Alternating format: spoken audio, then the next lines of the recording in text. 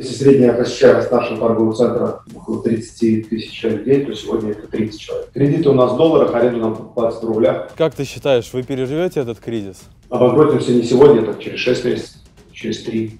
Надо помнить о том, что может быть еще хуже. То, что сегодня вот так, э, не факт, что это, это дно.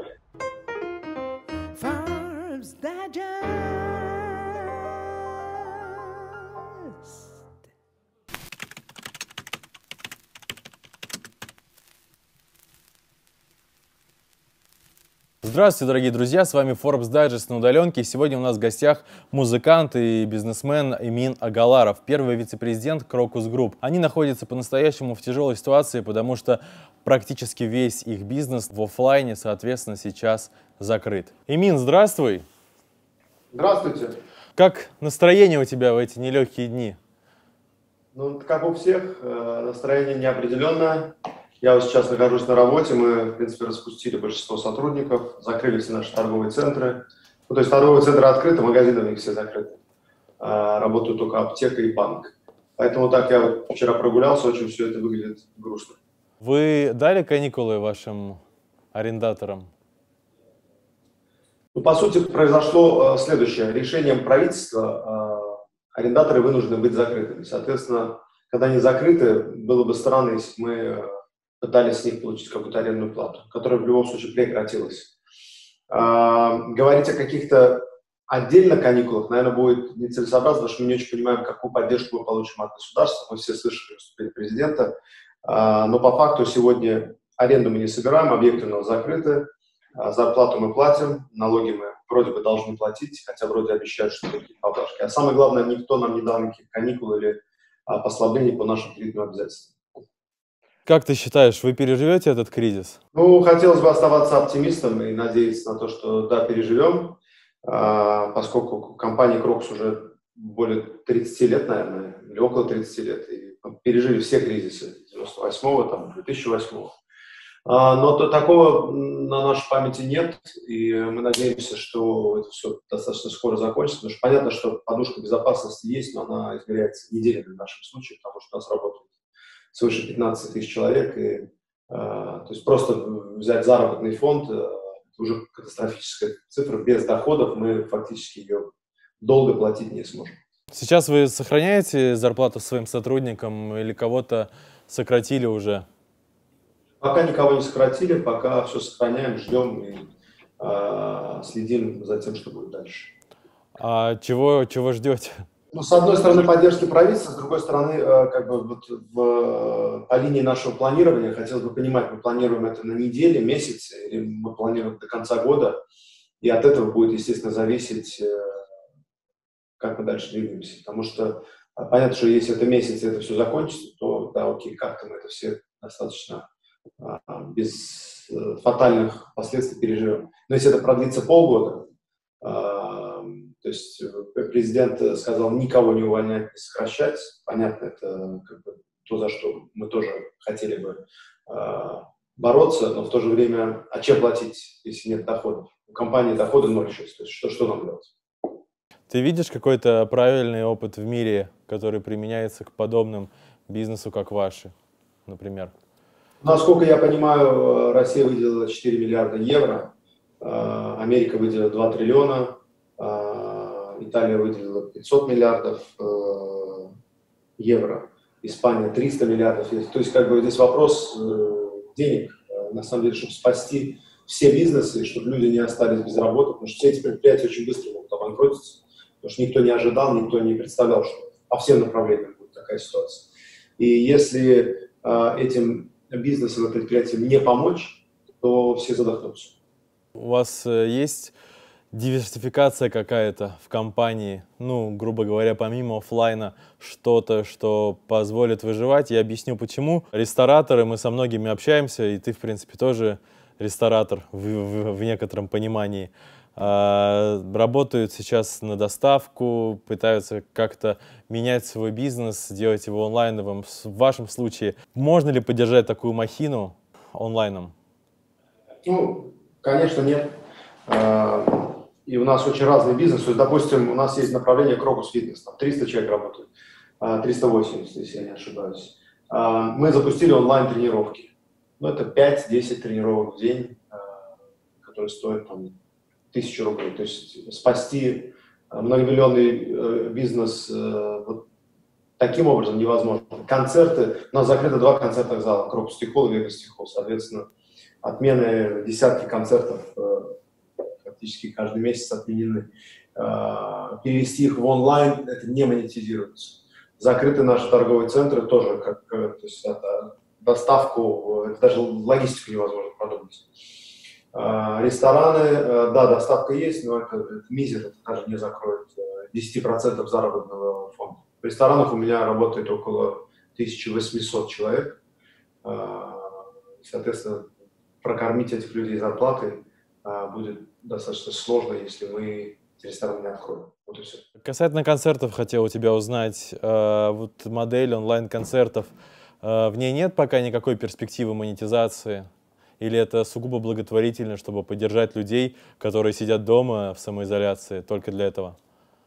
Вы знаете, я, я просто верю в то, что в сегодняшней ситуации думать о какой-то монетизации, наверное, э, достаточно бессмысленно, потому что если мы что-то делаем, мы, конечно, хотим кого-то порадовать этим музыкой, концертами, а, и совершенно точно мы не пытаемся на этом а, заработать, нет такой цели и задачи.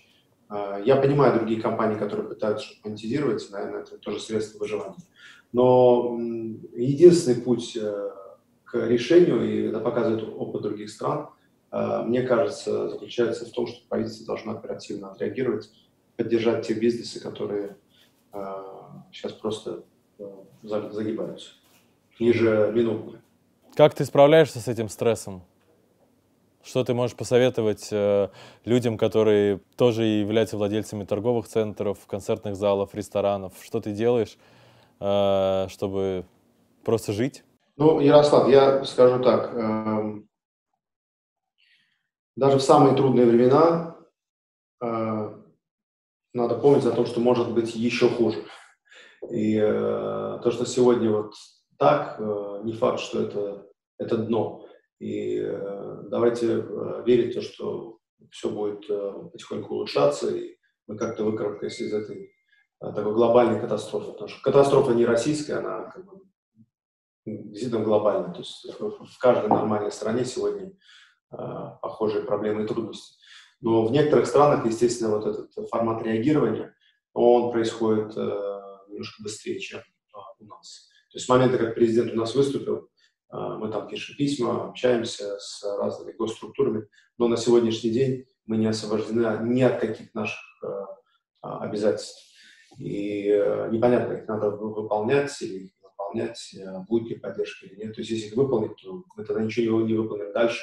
Сказали платить зарплату, когда нет доходов, из чего ее платить. То есть как бы не очень, э, вроде есть решения какие-то, тезисные, а Э, непосредственно инструкция к применению пока мы ее не видели. А ты согласен, что вот эта отсрочка налогов, э, о которой говорил президент, это как будто отсрочка казни? Ну да, то есть как бы если у нас у всех нет доходов, у нас так налоговое время в стране достаточно высокое.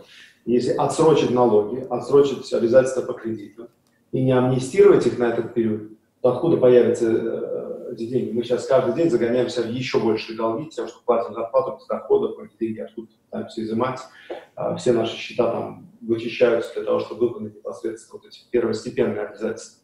Если еще у нас накопится за этот период налоговое время, то и кредитное, а, то что говорит, ну, обанкротимся не сегодня, так через 6 месяцев, через 3. То есть тогда, когда вступят в функцию вот эти механизмы ваши ну, арендаторы, да, а, кто у вас берет там аренду в торговых центрах, а, многие закрылись уже совсем.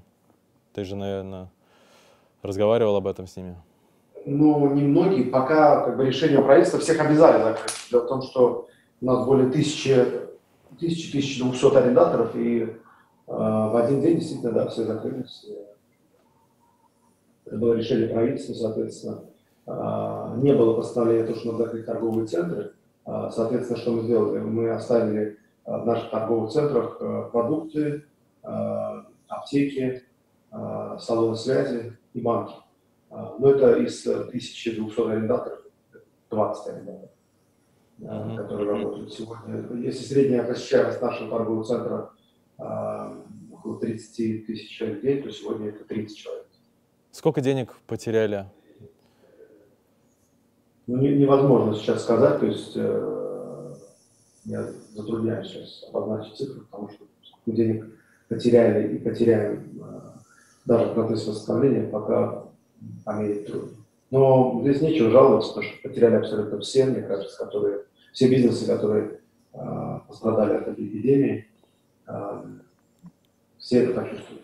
Ну, на улице нет народу, понятно, что бизнес он требует э, контакта, если это офлайн история. Ты обсуждал эту ситуацию со своим отцом, с старшим, со своим руководителем, по сути? В принципе, все, что я сказал, отчасти э, я его процитировал, потому что мы вечером сидим, э, вместе обсуждаем, смотрим новости э, и понимаем, что пока мы не видим решения, что всегда плохо, когда нет цели, ты не понимаешь, куда идти, не понимаешь, что делать, а находишься в таком неведении. А отец сравнивает эти кризисы, с которые, которые уже были, там, 98 год, 2008 нет, мне кажется, они несравнимы. Это был дефолт, и все равно как бы бизнес продолжался. понятно, что там все обесценилось, э, закупаем в валюте, продаем в рублях, конвертируем, все, все как бы посыпалось. Но на улице были люди и работали наши объекты. Э, когда они не работают, э, то есть Крокус Экспо, там огромное количество выставочного бизнеса, выставок, которые отменились, опять же, концерты отменились. Ну, то, есть, то есть к этому невозможно подготовиться. То есть, казалось бы, наш, наш бизнес был настолько диверсифицирован, то есть и спортклубы, и рестораны, и торговые центры, и стройка, а, и концертные залы, и лейбл «Жара», и журнал, и медиа, много разного. Но то, что все провалится в один, в один день, все эти направления, в это, конечно, трудно поверить. Ну, потому что они все в офлайне, я, я понимаю, что главная причина в этом. Но, как сказать, мне кажется, две трети мирового бизнеса в офлайне, может даже больше. А цены на нефть и падение курса рубля а, отразилось на вашем бизнесе как-то? Ну, нефтью мы не занимаемся, естественно, мы этого почувствовать сразу не можем. Но то, что рубль э, как бы так провалился сильно и быстро, э, естественно, мы почувствуем. Кредиты у нас в долларах, аренду нам платят в рублях, э, соответственно, вот нам теперь нужно больше рублей, чтобы заплатить наши кредитные обязательства. То же самое с покупкой товара, э, импорт, который мы возим в страну и мебель, и одежду, и ювелирку там. Когда рост цен э, почувствуют потребители? То, что все подорожает, это будет в апреле уже? Это будет как только, мне кажется, вот эта э, коронавирусная история немножко осядет, и э, люди будут вынуждены корректировать свои цены. Сейчас это делать без смысла. То есть сейчас те, кто делают, они просто переклеивают ценники, да? Ну да. Ты придерживаешься самоизоляции? Какие меры предосторожности от этого вируса? Ну, меры предосторожности, естественно, да. То есть, э, вот я в кабинете у себя в офисе один сижу, э, я провожу большинство своего времени дома. Поскольку мы живем за городом, у нас там есть место, где мы можем собираться с семьей, а там я с отцом. А, поэтому придерживаемся, конечно. То есть, как бы, это же все логично, что сейчас не собираемся в больших компаниях у тебя есть знакомые, которые заразились коронавирусом? А, да, есть знакомые. Я, честно говоря, с ними не общался лично на эту тему, но их много, и я даже предполагаю, что некоторые из них уже заболели и выздоровели. Угу. То есть это не так страшно, да, как все пишут, как ты думаешь? Ну, я не медик, мне трудно, не инфекционист, э, давать какие-то вот такие четкие э, ответы на эти вопросы, но, как я понимаю, для людей там среднего возраста и ниже обычный грипп. А, у людей с осложнениями он вызывает э, летальный исход. То есть, мое мнение, вот так. Ты занимаешься спортом сейчас, придерживаешься своего обычного образа жизни? Это единственное, что я делаю, занимаюсь спортом и музыкой. Поскольку это то самое время, когда мне его много, и больше времени можно уделить спорту, музыке и семье. А творчество идет, когда так грустно? Идет грустное творчество. Для артистов это часто бывает э, большим подспорьем. Кризисы, драма. Что с этой точки зрения, с, твоим, с твоими артистами, с фестивалем «Жара»? Ну, часть фестиваля мы уже передвинули на осень. Дюссельдорф, Монако мы передвинули на осень. Что касается артистов, э, не только лейбла «Жара», всех, мне кажется, все артисты сейчас стали э, безработными. Все сидят дома, записывают какие-то акустические версии, онлайн-концерты, выходят в прямые эфиры, общаются с э, фанатами. Но доходы у всех артистов, естественно, как бы скатились на нет, поскольку нет гастролей, быть не может сейчас. Что касается артистов лейбла «Жара», всех послали в студию записать альбом. Да? И как э, продвигается э, творчество у них? У нас артисты очень занятые, и у них хватает времени только выпускать синглы. И как раз это то самое время, когда вот наши топовые ребята, такие как Джоник, Марина Вари, Бакти, Зомб и многие другие могут э, реально записать полноценные большие работы, то есть альбом. Я видел у тебя пост в Инстаграме, ты э, хвалился тем, что у вас какие-то хорошие прослушивания. А, на песню. А, есть ли активность вот э, по скачиваниям из-за того, что сейчас все сидят дома?